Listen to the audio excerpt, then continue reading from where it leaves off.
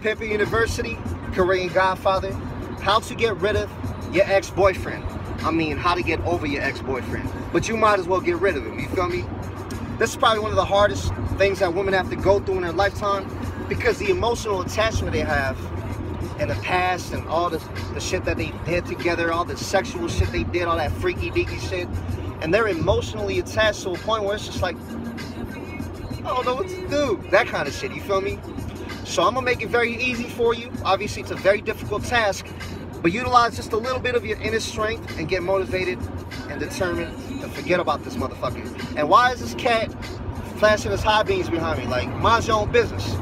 Anywho, first and foremost, get rid of everything that pertains to him. Phone numbers, anything in regards to pictures, notes that you have with him, um, fucking him off your social media. Man, get them off your Facebook, Instagram, YouTube, whatever the case may be. Just get rid of everything. Tear up all the photos. Get rid of his phone number. Block his ass. Not on no spiteful shit, not on no hatred shit or vengeful shit. Just remove it so it will not trigger memories. Okay, let me give you an example. Let's say you have some photos and shit in your phone and you're showing your best friend the vacation that you took to Paris. You swiping left, all of a sudden his photo pops out. Boom! Triggers that memory. Instantly you become depressed and your whole day is just fucked up and you're drained. That's the reason. So get rid of everything. I promise you, it will work. Number two, focus on you. Focus on being the best you can possibly be. Create a motivational factor for yourself. If you always wanted to be a, a gymnast or a, or a fitness model and you want to be toned up and, and show people your ass cheeks that it's firm and toned, be a fitness model. Go to the gym, work that shit out, get, the, get your arms worked in, do your, do your squats. Even if you got to do something spiritual, go to church more often, pray to God. You know what I'm saying? If you got to focus on your career, focus on the career. if you got to, is that a police? Thank God it ain't. Focus on your career, focus on your education. You feel what I'm saying? Find a hobby that's gonna really take you to the next level. If you envision yourself to do big and great things and you become the best you that you could possibly be, it'd be so easy to get over. Slowly but surely, it will slowly come off your mind, literally. All right. Number three. This possibly is uh, one of the best secrets that I'm gonna tell you. You gotta make sure that you balance out your lifestyle.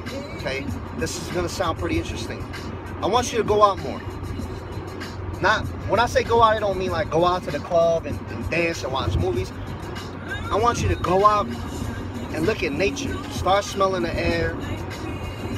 Start smelling the wind breeze, feel the ocean breeze at the, at the beach. You know what I'm saying? Go go on a camping trip for a week. You know what I'm saying? Go on a road trip with your friends for a week. Look at the stars at night. Go sun gazing go skydiving, bungee jumping, go sit next to the flowers, take photos, and, and smell the dandelions, if you could even smell it. Look, be one with nature. But I'm not saying completely be one with nature. Balance out your lifestyle. While you're out with nature, I want you to also focus on your, your career, being the best you, you could possibly be. I want you to also focus on getting closer to family members, I want you to be closer to your friends and be good to them, have a lot of compassion. You know, get a chihuahua, get a little dog or a cat and, and, and take care of that cat or, or dog and, and, start putting your, your, your focus on other things that really, uh, really matter. Because your ex-boyfriend, let's be honest, the reason why you broke up with him was because he's a dumb motherfucker, right? You feel what I'm saying? He's a dumb motherfucker. He is not worth your energy.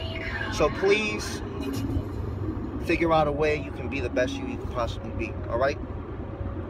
Last but not least, this is really gonna help you out. I want you to watch a movie called Forgetting Sarah Marshall.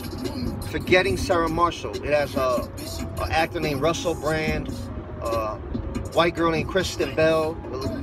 I'm not sure if that's her name, but and then they have a Jason, uh, was it something Spiegel? I don't know. I don't know his name. Whatever his name was. Anyway, if you watch the movie, slowly start to analyze the movie and put yourself in uh, the guy's shoe, Jason's shoe. Imagine you're Jason and watch the movie. How how difficult it was in the beginning to get over the girl, but it, it slowly became easy.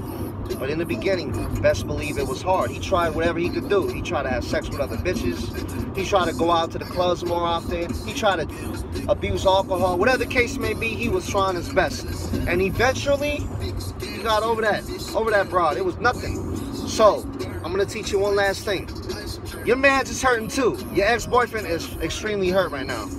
See, when two people engage in consensual sex, that didn't make no sense. I'm sorry. I'm using words, trying to act smart.